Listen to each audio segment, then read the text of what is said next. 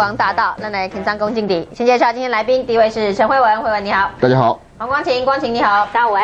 沈富雄，陈大佬，开始一下。变红点，健康换手。所以是健康的，继续向前行。胡忠信，胡大哥你好。新年恭喜。雷洪刘大哥你好。大家好。这个周末呢，没有什么政治新闻哦。不过，这个前副总统吕秀莲接受了联合报的专访，倒是给民进党接下来的五都的候选人，还有二零一二的总统候选人投下了一点点的变数。这个联谊到底会不会引起民进党内的又一阵沙盘推演？我们先来听一下立法院党团对于吕秀莲副总统的高见，说选二零一二的人就不要出来选五都，有什么反应？都以及二零一二以及。啊，这党未来走向啊，是应该由主席召集相关人士坐下来，很恳切的啊，那大家不要抛开所有利害关系，好好来想一想。你这样讲会不会觉得好像有点卡到那个苏针针对那个苏院长或者是蔡主席而来？任何人的想法，大家都可以做一些联想啊。但是我只是觉得这些这些呃私下方法、私下回应，都不可能是个。都不可能成为一个定案的东西。希望哈所有的人都不要下指导棋啦。整个选战应该以民意为依归。那现在党啊一直在探索民意，未来推出的五都候选人，要是民众能够支持，党可以胜选的人选，所以任何人都可能。但是如果现在说太多或者下指导棋，可能会让党啊有牵绊。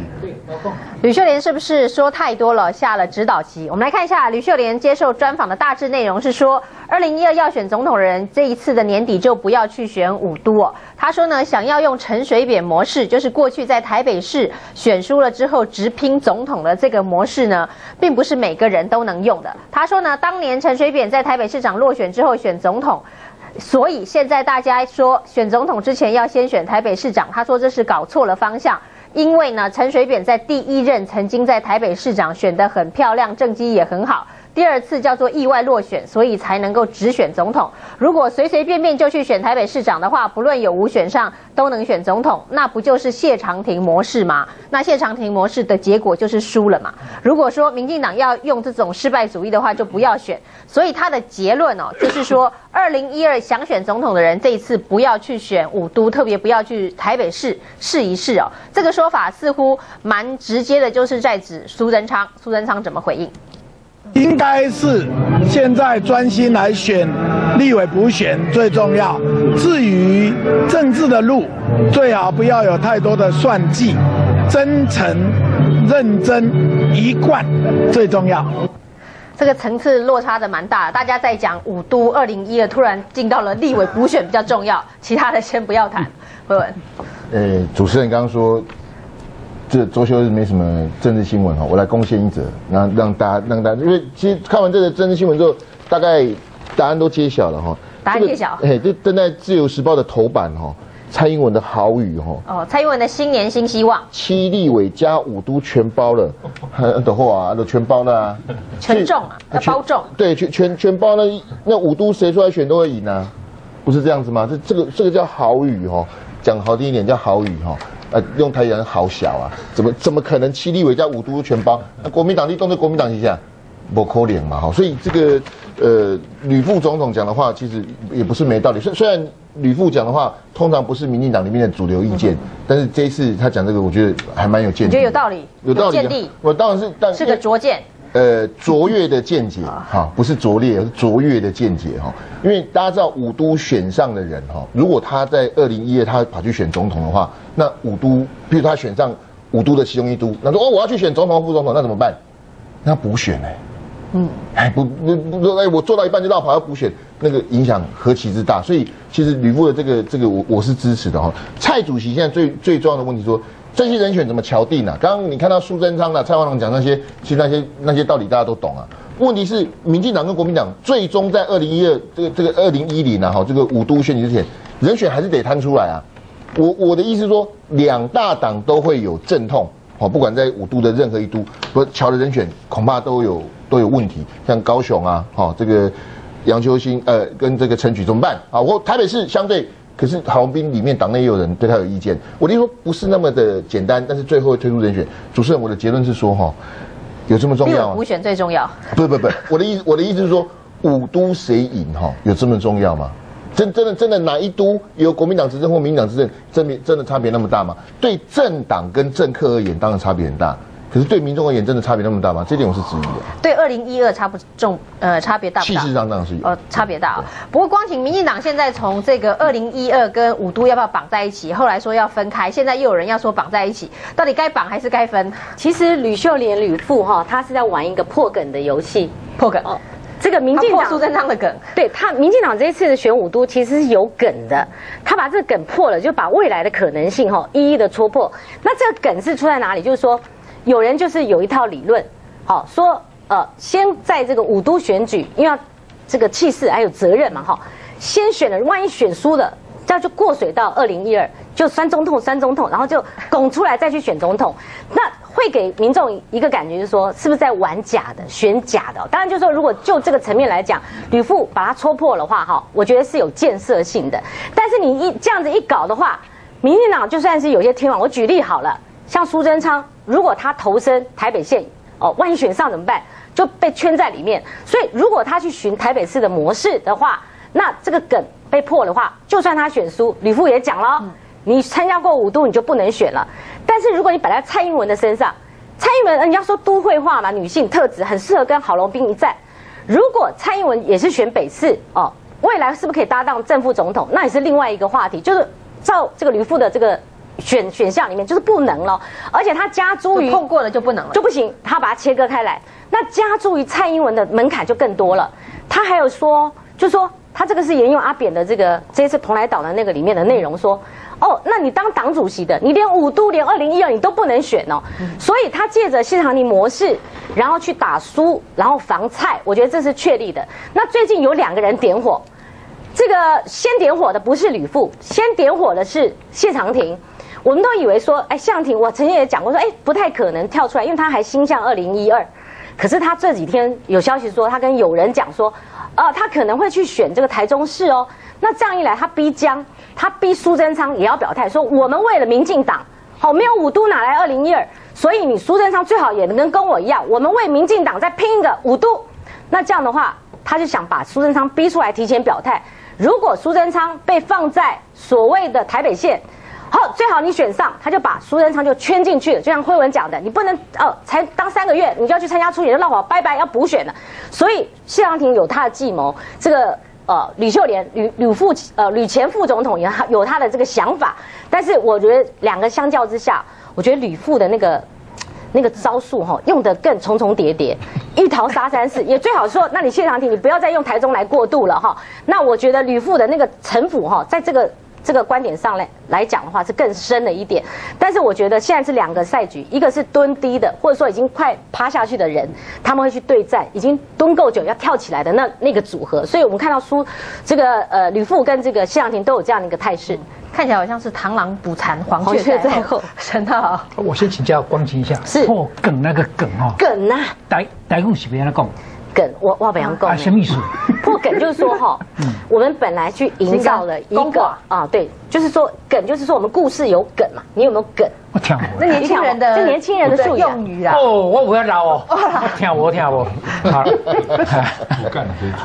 就是那个蔡规定，那个那个条那故事的悬疑性。故事的主轴啦，那个梗啊，哈，我我先讲哈，每次评论吕秀莲的时候，我都很遗憾的坐在胡宗宪的隔壁。为什么这么巧啊？哎啊，胡宗宪都不止一次替李副总统传话，说我从来没有讲过他的好话，所以我要评论他哈，我心里头就事先有挂碍啊。划清界限一下。心里有有一个不哎，不过首先哈，我要讲哈，我们应该讲李秀莲副总统有他言论自由，他就跟我们这个来宾一样啊，他可以，尤其他有选战的经验，他也表达他的意思。那你不是来评论跟我一共有斗个这个叫很好意的、很善意的哈，去啊去啊共了哈。但是我们还是逃不掉，因为蓝营也有这些大佬级的，而且也是前副总统啊。那他们一放话，就会引起一些一些波折哈。那李副总呢，这些当然会引起很多联想了。但是我觉得第一个就是说，他根据他的想法啊，就好像我们来宾一样这样讲，我觉得这个我没有意见。那第二个呢，就是他是有心机的，他有盘算来讲的。他讲五都加主席加二零一二的总统候选人七个，其实我一再讲不是七个，只有四个。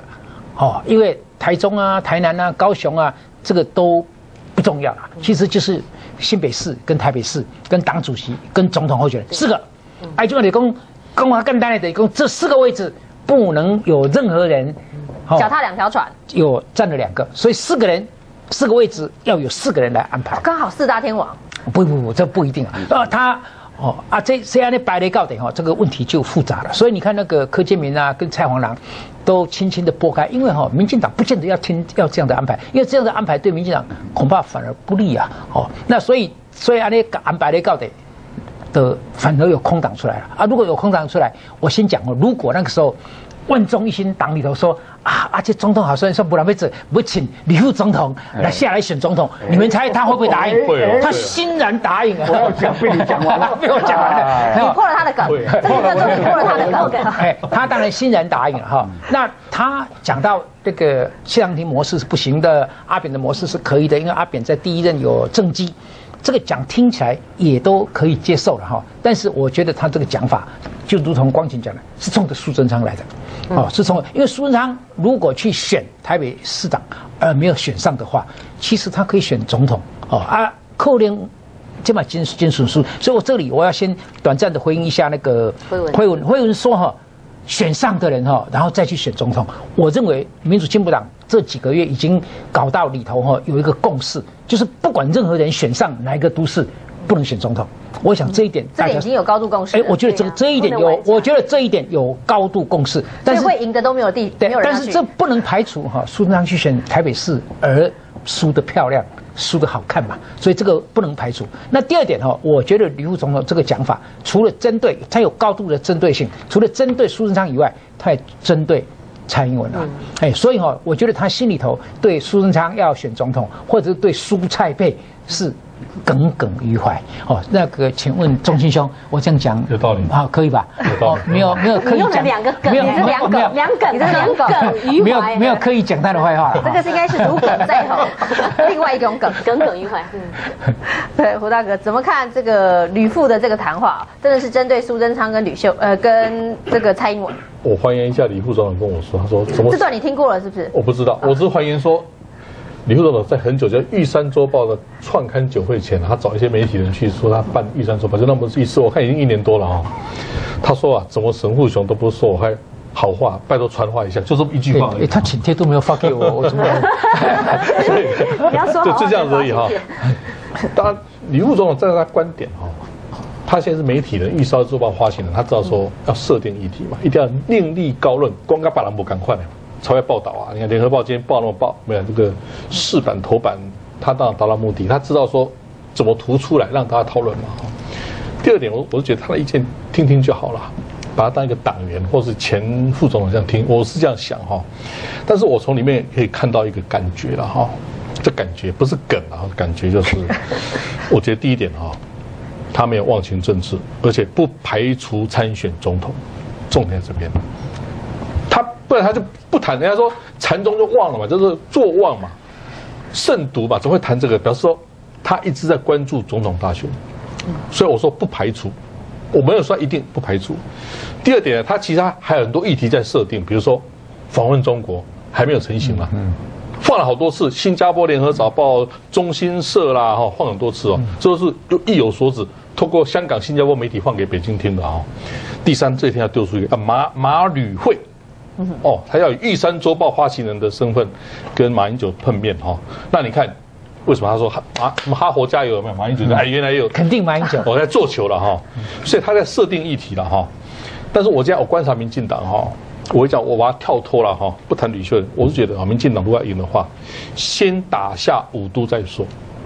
五都现在四都是可能性很大的哦，包括台北市跟台北县了。我的可能性啊，不是一定的哈。为什么？如果把台北市、台北县一个选区来打的话，啊不得了啊！打一个选区来打两个候选人，一起造势。那不得了，为什么？你看今天一个新闻啊，光光信义区的税收超过南部八县市，所以打下一个台北市赢了南部八县市。你这一个信义区就超过八南部八县市的税收，你看多大？所以台北县市，我说哈，你五都如果打下北县市，打下南高，哎，国民党只剩台中哎，我是这样，你们讲这样想，先赢四都再讲，而且周锡伟的状况不明啊，周锡伟几天前在上海放话。还不明，他到底要退还进？你看昨天吴敦义啊，一句好话都不说哎。吴敦义人在一起就说哎，积极力这股东白够哎，还说丢给党部哎，这个就表示党中央马中央对周锡是不满的哦。但周锡伟昨天在傻笑，他不讲话嘛，我觉得很奇怪，就是说周不退，党中央不表态，这里面就是很多美感。民进党注意到知彼知己哈。但是我谈的不是说五都了，我现在请教民进党。你认为民进党中央执政准备好了没有？人民对你信赖吗？我建议民进党不要太多时间谈选举，由于不要谈总统大选，人民会反弹回来，会反感。我谈的是这百分之九，民进党基本盘再怎么打，再怎么吹，就百分之四十二嘛。你要中央执政四十二加九，我说光这九，你如果继续谈总统选举，这九就跑掉了。对不对？包包括说，哎呀，我现在有二七席再加两席，二九席，有就四分之一国会多数，怎么样怎么样？其实这都不要讲，谈你过去执政你的态度怎么样？怎么面对过去执政八年？也许陈水扁案交给司法，你不用碰，但是呢，你未来希望是什么？如果你不能谈，就啊，我要五都要赢，要谈选举，要谈总统大选，这百分之九的中间选民是进不来的，进不来。你五度给你五度都送给你好了，你也不能中央执政嘛。所以我说哦，这个议题如果有见识的民进党高层啊，尽可能不要谈，这样会比较好。这个喊吕秀莲吗？我我认为吕秀莲在民进党里面是没有分量的，所以他讲的啊，你像柯建明啊、蔡黄郎啊，都把他当做耳边风。那这些记者为什么访问他？因为他是卸任副总统，而而且也没有政治新闻，啊，有一个讲的比较不一样，就把他做做报道。那李秀莲讲那个是什什么意思呢？我我看不出来，他难道对民进党有任何分量吗？他的人人头党员都没有，他是最清廉的、最最最光棍一个。那李秀莲，李李李秀莲讲的意思就是说，不要跟不要你们不要跟陈水扁学哦。陈水扁那时候选你们原他都，陈水扁是因为有水莲呢，是因为副总统提名有李秀莲呢，男女男女共男共治才会选得上。那你们难道都没有考虑有李秀莲吗？呃，你们如果好，蔡英文去北县好了，苏贞昌来北市，或或者是一个北市一个北县，两个都当选，那民进党谁来选总统副总统？就苏蔡配啊，北市跟北县的市长一起选啊。不是，如果他们当选了，好，那李秀莲讲啊，当选就留在那边啊，你要选的不能就不能再选啊，那剩下谁来选？谢长廷跟李秀莲呢？剩下没有了，尤其坤天王退休了，那剩下李秀莲跟谢长廷。这两天再跟马英九再打一次啊！马英九现在这么做，上次没有打下来，再打一次也未尝不可啊。那如果我现在还不打，那我李秀莲来打也可以啊，不是这个意思吗？我是觉得哈，民进党现在在那瞧来瞧去，到底要党主席跟五都人选一起弄，还是不一起弄？跟国民党一样，他们都有人选的困难，所以现在两党都很难推出什么人选啊。所以目前你问国民党。他也是先把立委选选完了，选完再来选讲五度。大家都是立委补选最重要。对嘛，就是这样子嘛，就是都一样。我认为两党面临的问题都一样。那政治瞬息万变，要看以后怎么走。谁知道马英九一年半变成这个样子，变成这么弱不禁风，害得没没本来要推出政坛的，通通不推了，通通跑出来了，就是这样子啊。到了。有没有其他高见？因为我关有关于这个模式说，其实最早是陈水扁提出来的。陈水扁提出什么样子的模式，什么样子的模式才能够让民进党胜选？那他当时提的三种模式，当然吕秀莲是在中间做了一些变形跟推演。他当时提的三种模式，第一种叫做两千年的时候林英雄做党主席，因为林英雄不想选总统，所以才能够全心全力辅选陈水扁，才能够赢得胜选。这是第一种叫胜选模式。那第二种呢是两千零四年他自己兼党主席跟总统候选人，那就可以充分的掌握党跟行政团队的配合，所以呢，他又再度的连任成功。这是第二种，他觉得会赢得模式，就是党主席兼总统候选人，但是他能够掌握全局的。那第三种就是两千零八年，党主席跟总统候选人是不同的人担任。党主席呢 是党内角逐总统提名的当事人之一，结果就大家在党内就已经抬干劳会老底。这个陈水扁自己讲的，马后哎后北弯转，所以就后来就输了。因此呢，最后他的结论呢，就是要建议说，由党主席兼总统候选人是一个可行的办法。但是呢，他不是主张透过制度面修改，硬性规定明年选出的党主席就是二零一二的候选人。但是他诚心的认为，该决定的时候就要决定，严当不能解决问题，拖越久对党的伤害越大。所以陈水扁帮民进党提出的胜选模式，明年五月选出来的党主席就是应该要兼总统候选人。所以二零一二总统候选人在明年的五月就要决定了，也是在五都选举之前就要决定了。他认为这是唯一的胜选模式。大好怎么办？原则上哈，比较陈水扁的提法跟李秀莲的提法，我比较认同陈水扁，我觉得他比较没有私心啊。那里头他说要按照原来的制度，就是党员要投票。哦，这一点我是不同意的。但是现在民进党已经规定，这个党员的这个党费哦，要自己缴，党员要要自己缴，所以哦，党员会大幅下降哦。但是阿扁为什么坚持要照原来的制度哈？这个他的动机在哪里？我我没有办法完全抓紧啊。但是他讲到两个模式，第一个就是说他两千年代选的时候，就是有林义雄当党主席，让他可以放心去选。但是他也承认，那个恐怕没有办法。重复啊，没有办法 repeat，就找不到这样的人，所以他倾向第二个，就是说总统候选人跟党主席是同一个，但是我也搞不懂是为什么先选党主席，那么这个人再去选兼总统参选，我觉得应该是后来推举出来一个总统参选人，而那个人一旦被推举以后就接党主席。哦，这样的话，你说可以五都选完之后再换党主席，对不对？他，我觉得他没有民，呃，那当然，我觉得民进党要做什么事情，随时都可以都可以改，就对了。哎，这个这个没有什么，没有什么差。但是，但是我认为啦，阿扁也好，吕旭仁也好，现在其实民进党党中央主其事者都不把他们放在眼里了。这给共给乱给差，他们民进党里头哈，各个派系心里头自有主张。不过问题是今天。这个柯建明说，大家都蛮按理也当心瓜来哦啊，然后蔡华郎也讲也讲类似的话，这个这个叫欲盖弥彰，如共哦，如显得说相关人士哦有自这个这个选大选的人，其实利益自自家的利益是摆在最最上面。我我认为陈水扁不会不知道说，经过初选会有老会老底的情况，因为多一层多一多一道竞争的手续嘛。但是他为什么要这么讲呢？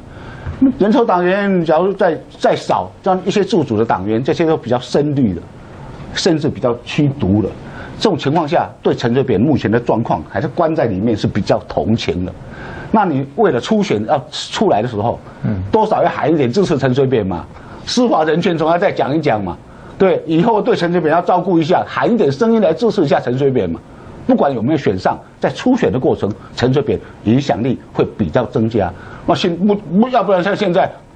呃，在里面好像没有人理他，陈德伟怎么受得了？他那受不了。所以他也是把自己的利益放在心里。其实阿扁哦，这三个组合看似复杂，其实就有两个点，一个就是说看总统候选人的本身条件，两千年跟两千零四年都是他嘛。嗯。那一个党主席是林义雄，一个是他自己，哦，就是没有私心的啊。第二第二次他零四年绝对会为自己，可是他举第三个例子，两千零八年，你看吧，不同人的话。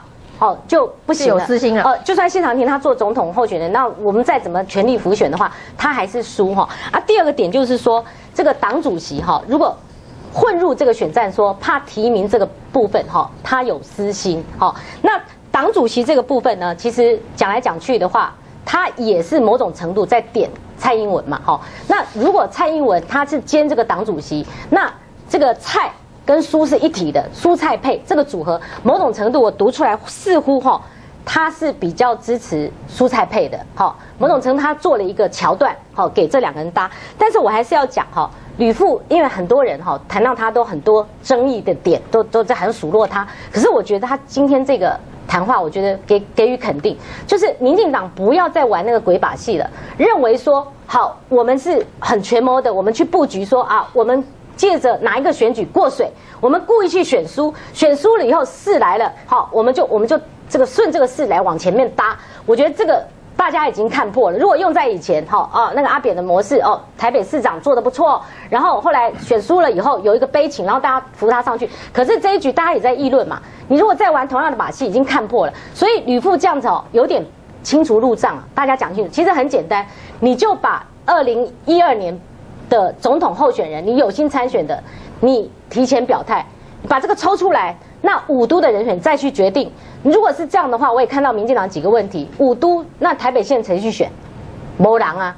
好，如果苏贞昌心向二零一二的话，那总统候选人如果这样提前这个曝光的话，是不是一个好事？因为你这样副总统就提前也要，你就没有没有选择余地啊，你就非得提前的就曝光了。我觉得在战略上或许也不是见得好，但是他去破这个梗哈，把民进党的那些所谓的那种各怀鬼胎那种情势先稳住了，也不要觉得老百姓这么好骗哦，你们。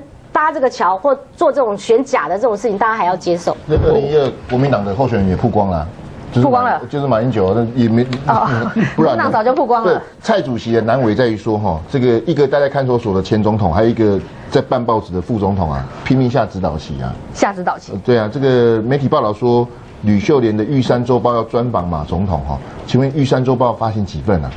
这在国内是个有影响力的媒体吗？那那你那你不是说党政军要退出媒体？那你你现在到底是什么？吕秀莲算是媒体人吗？好，两千零六年啊，吕秀莲就想取而代之啊。他讲的，他今天讲的话，我我是我是我是肯定的。那这个人啊，二零零六干嘛？想把阿扁弄掉自己上啊，不是吗？二零零八也想选嘛，党内初选就输了。二零一二哈，我呼应刚刘大哥提的，民进党不会提名吕吕秀莲，吕秀莲就算被提名也不会赢啊。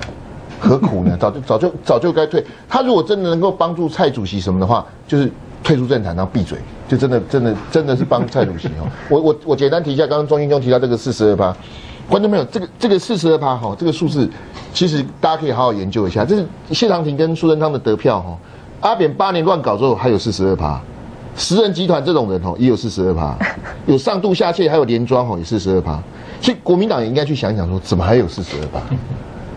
跟民进党一片，站在头卡两边头卡顶管够细在里趴。他只会从这里往上，不会再从这里往下了。我我说已对，我说已经到了这个到了这种节骨眼，还有四十二趴。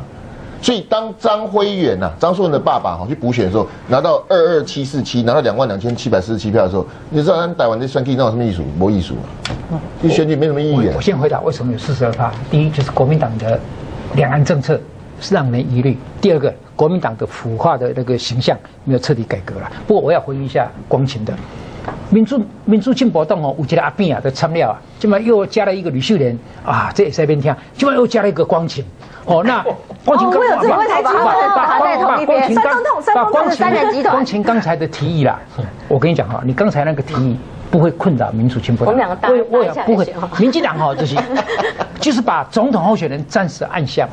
哦，然后呢？比如说孙昌选台北市，那个蔡英文选新北市，啊，其他的民共啊，啊，然后呢，党主席再想一个办法，不，这个问题不难，啊，然后去选，然后去选，啊，看看结果，再决定二零一二的总统候选人。啊，你你那个哦，倒过来，你你把不是，你才你讲哦，哎，这里有诡计啦，就是哈，孙昌去台北市故意要输的啦，你可以这样想，那是你的自由。哦，但是你没有办法证明啊啊！你没有办法证明。很多人是这样说的。妈，你这样想没关系啊。很多人这样布局的。你有思想的自由，哦，我有布局的自由。你没有办法证明我这个布局就是冲这个来的，那就可以了。我到时候是不得不只好走上这个梗，对，只好走上这个梗。